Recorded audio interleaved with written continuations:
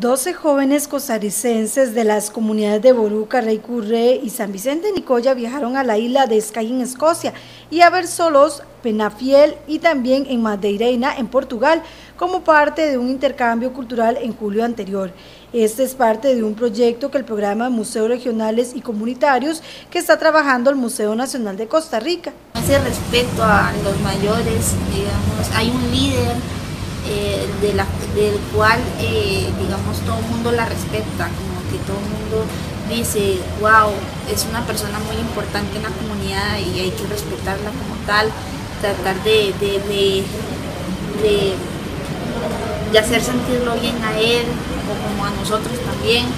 Eh, es como muy parecido a la comunidad porque hay muchos mayores en la comunidad y lo que hacemos es también respetarlos y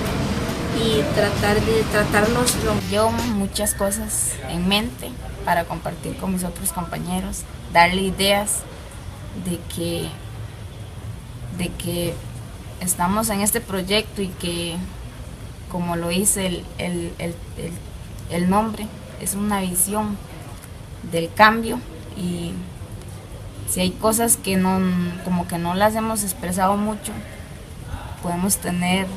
esa certeza de, darlas a conocer más este, y también como, como contarles a las personas de la comunidad propia que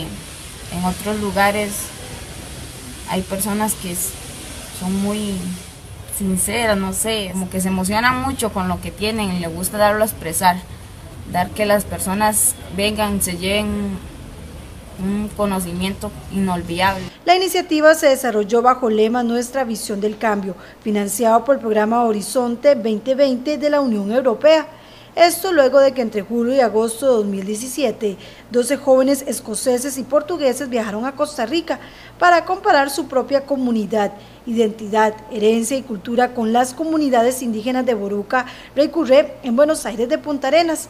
Esta fue una oportunidad única para que los jóvenes europeos aprendieran, fueran parte de las comunidades costarricenses y participaran de varias actividades temáticas.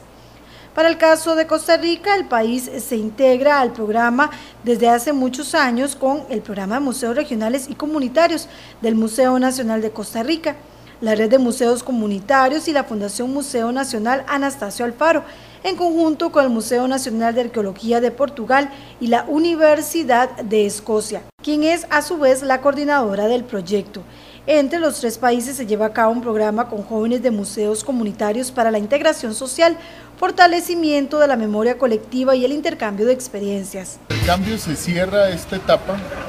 eh, pues ya el año pasado los jóvenes de Escocia y Portugal nos habían visitado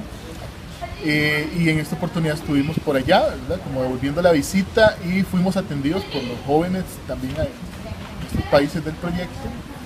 Y este, se compartió experiencias de la cultura local en también comunidades eh, rurales en el contexto europeo, tanto en, en, la región del norte de Portugal como en la isla de Skye tras ese intercambio se continuará trabajando en los museos comunitarios. Vamos a continuar, eh, este año hay que cerrar estos trabajos que estamos haciendo con los jóvenes en las comunidades. Eh, en el caso de Costa Rica hay un seguimiento que se van dando los mismos museos comunitarios eh, para que los jóvenes ahora puedan presentar estos resultados, puedan hacer estas propuestas de cómo ellos este, podrían presentar alternativas para fortalecer estos elementos de la cultura que ahora son más conscientes, que valoran más que quieren ver cómo, cómo refuerzan en, cada una de sus comunidades. De esta manera, jóvenes de territorios indígenas ubicados en Buenos Aires de Punta Arenas vivieron una gran experiencia en Europa.